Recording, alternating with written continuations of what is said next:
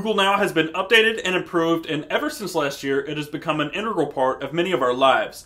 I'm Taylor Martin, this is Pocketnow, and this is how you make the most of Google Now.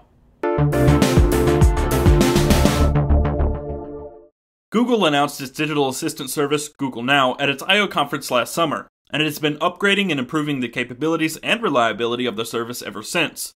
Many of us here at Pocketnow have come to use and rely on Google Now each and every day, but you may be wondering what the hype is all about. What makes Google Now so great, and how can you make the most of Google's automated assistant service?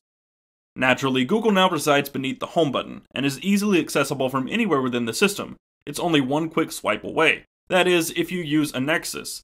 If you use another device, like the HTC One or Galaxy S4, Now may be accessed by holding the Home or Menu button. And if you use an iOS device, simply download the Google Search app from the App Store and log in. Once you get inside, you are met with a search bar at the top, followed by a scrolling list of information cards that are updated and changed based on your preferences and needs. To choose what shows in cards and periodically in the notification shade, scroll to the bottom, press the Action Overflow button, and select Settings.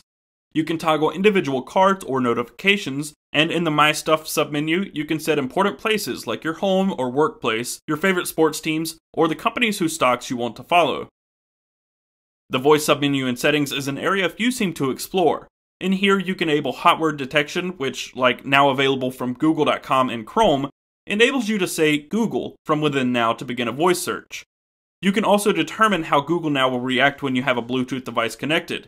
It will record audio either through the headset or through the phone's built in microphone. Lastly, the phone search submenu is where you can include or exclude specific apps from Google search results. But enough about settings. How can you improve your Google Now experience? How can it become more useful for you? First, make sure you're using the correct Google account for Google Now.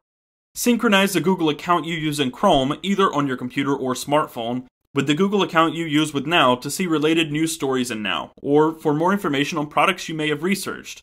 I did a lot of research before buying my new car, so Now is recommending reviews and other information on the Scion FRS without me having to lift a finger.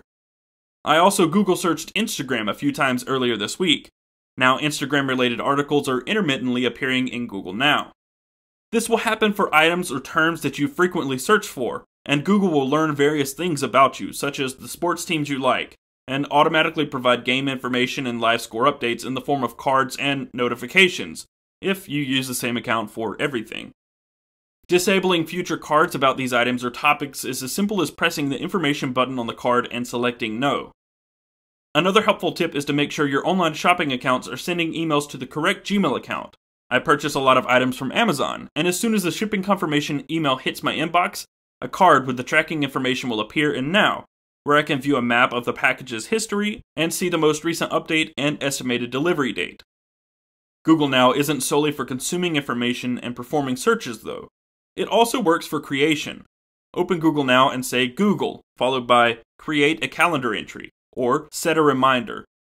You can also set timers and alarms using the same method, or you can place a call, send a text message, or even email straight from Google Now.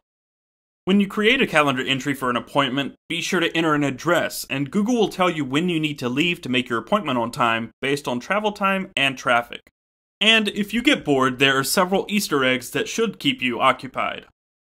Not every feature works in all parts of the world, and even we haven't been able to get some cards to work, such as the card that displays how far you've walked at the end of each month. But the best thing you can do to improve your Google Now experience is to open it up every so often and discover what it's doing for you, automatically. It will suggest TV shows, movies, and even new albums based on your search queries. It will provide local events based on your geographical location, which definitely comes in handy on those weekends out of town.